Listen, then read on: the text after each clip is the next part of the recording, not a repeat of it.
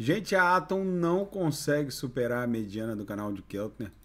Já é o primeiro, segundo, terceiro, quarto, quinto, sexto, sétimo candle que fica namorando a mediana do canal de Keltner de baixo para cima e não consegue superar. Mas o candle de hoje está levemente engolfado pelo de ontem, apesar de vendedor hoje e comprador ontem. É possível que amanhã a gente volte a estressar a mediana para cruzar, que segue ali num patamar de 10,30, 10,35, agora a cotação 10,06. Ela tá, parece, tá parecendo que está desenhando uma subfigura triangular aqui, ó, com fundos levemente ascendentes, topos descendentes, para eventualmente explodir em direção a, ao centro gravitacional da nuvem.